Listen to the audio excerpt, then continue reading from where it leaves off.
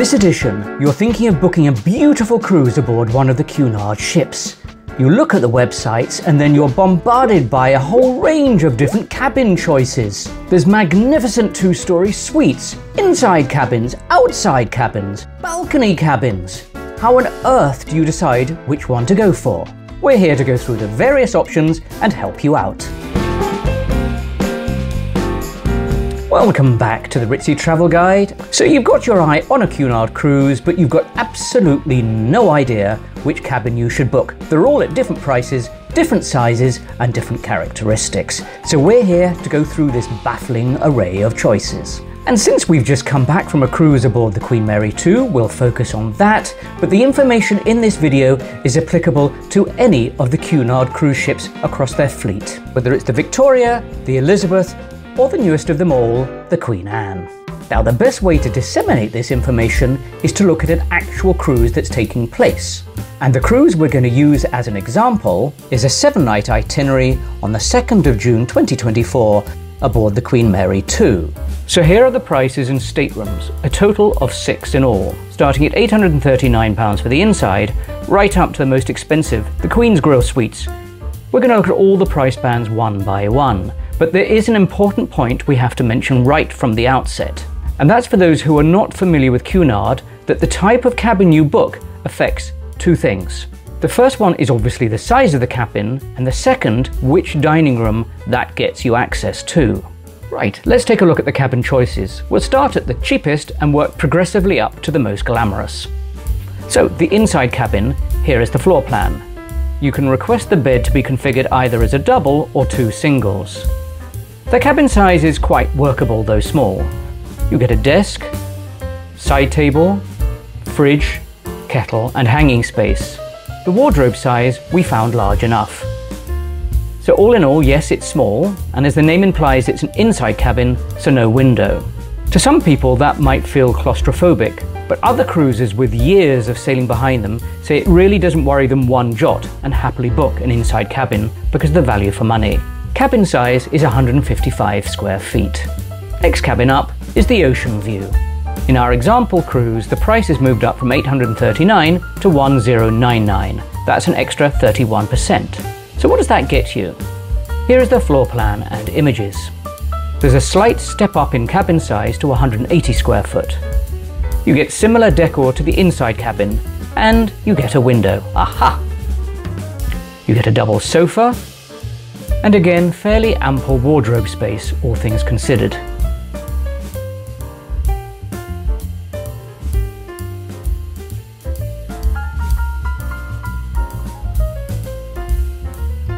The bathroom is very similar to the inside cabin.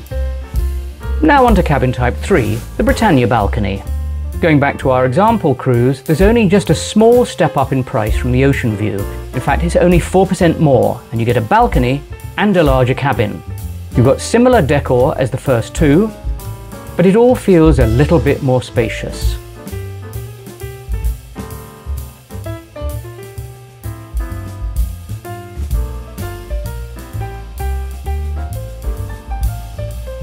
Okay, so these first three cabin grades, inside, Ocean View and Britannia Balcony, all have access to the same restaurant, which is the Britannia Dining Room.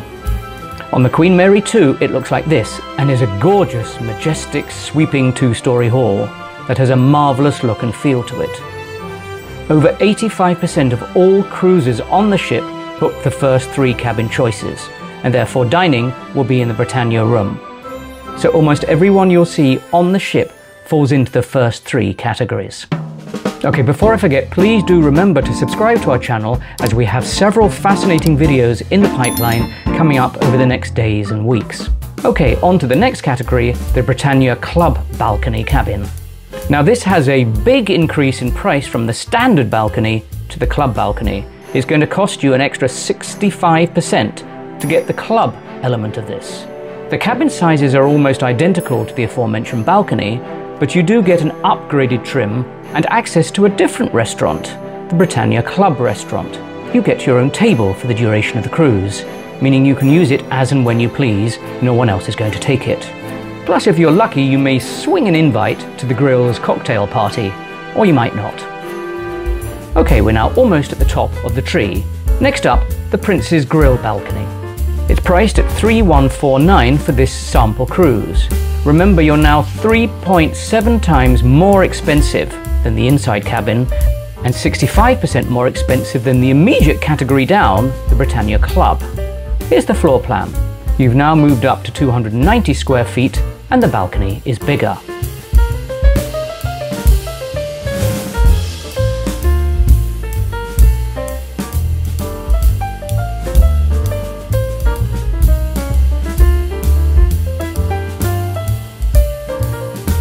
And for snob appeal, you now get access to the Princess Grill, again with your own table and anytime dining.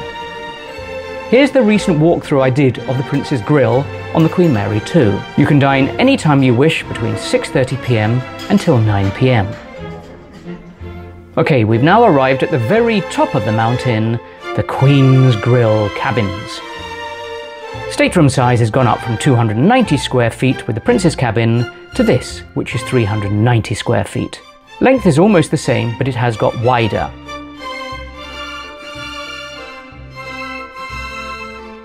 Now once again, you do get your own restaurant, this time Queen's Grill. It's open for breakfast, lunch and dinner, as well as the grill's afternoon tea.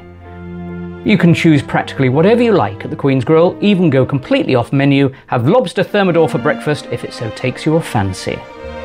Now there are some cabin grades even higher than this, but we're not going to cover them in this video because they're so rarely available. We're talking about huge, split level, double floor, vaulted ceiling cabins, but those go years in advance. So all that being said, which cabin should you book on a Cunard cruise? Now, obviously I can't tell you how to spend your money, but that being said, there are a couple of glaring observations which jump out at you. For the vast, vast, vast majority of passengers, you'll be absolutely delighted with the first three cabin categories. You get access to the Britannia restaurant, which serves great food, as well as all of the rest of the ship. And when you get bored of that, there are still other dining outlets on board that you can go to. If you want to spend a bit more, then the club balcony does make quite a lot of sense. It's a lot less than the Princess or the Queen's Grill cabins, and you get a very similar atmosphere. Number two, if you're choosing one of the three cheapest cabin options and you're on a warm itinerary, then you may well appreciate the balcony. Imagine gliding through the Mediterranean. It is going to be lovely sitting on that balcony, watching the scenery at close quarters drift by. But if it's a cold weather cruise or a blustery transatlantic crossing, when on earth are you going to use that balcony? For those cold weather cruises, just choose a cheaper cabin. Now, if you're determined to raid your piggy bank and pay up for either the Princess Grill or the Queen's Grill is entirely up to you. But if you're going to do so, you might as well go the full distance and pay for the Queen's Grill. It's only 17% more than the Princess and you get quite a lot more for your money. Now, most importantly, we must stress again that 90% of the ship is open to all classes of passengers, no matter what cabin type you're in. You'll still get access to all of the beautiful facilities of the ship, even if you bought the cheapest inside cabin ticket. I hope this helped you. Please do remember to subscribe to our channel as we have several more fascinating videos arriving on our channel in the next few days and weeks.